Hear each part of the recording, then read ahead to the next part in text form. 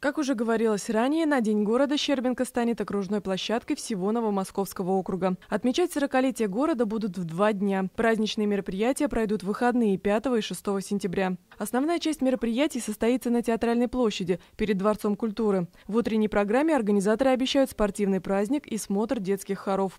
Основная часть мероприятий состоится на Театральной площади перед Дворцом культуры. В утренней программе организаторы обещают спортивный праздник и смотр детских хоров. Вечером Щербинцев ждет концерт профессиональных исполнителей, дискотека и красочный салют. Однако Театральная площадь будет не единственной площадкой для празднований. Вне основной сцены состоится фестиваль каши. Производители каши будут бороться за победу в нескольких номинациях. Будет и приз зрительских симпатий, так что своеобразными судьями смогут стать все желающие. Помимо фестиваля каши, жителей будут ждать различные мастер-классы, аквагрим, полевая кухня и батуты. 6 сентября праздник продолжится. Любители спорта смогут выйти на велопробег, уже второй по счету в нашем городе. Кроме того, на поле в микрорайоне Астафьево состоится футбольный матч.